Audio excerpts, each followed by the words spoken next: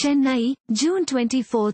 Rohini Tharani, the daughter of well-known national award-winning art director Tota Tharani, will join her illustrious father in taking care of the art direction department of director A. Gokul Krishna's upcoming big-budget film, Gentleman 2. The film, which is being produced by K.T. Kunjumon, known for having introduced ace director Shankar to the film industry, has music by Marakathamani, M. M. Keeravani, and cinematography by Ajayan Vincent, Nayanthara Chakravarthy and Priya Lal are the heroines of the film, the hero of which is to be announced soon.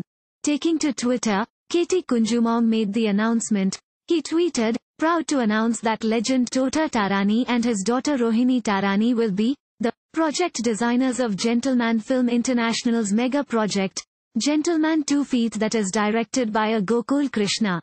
Tota Tharani, who is considered a legend in the world of art direction, has worked on cult classics and blockbusters like Nayagan, Thalapathy, Sivaji, Rudhramadevi, and Gentleman, and is now working on Mani Ratnam's upcoming magnum opus, Ponniyin Selvan. Thank you for watching.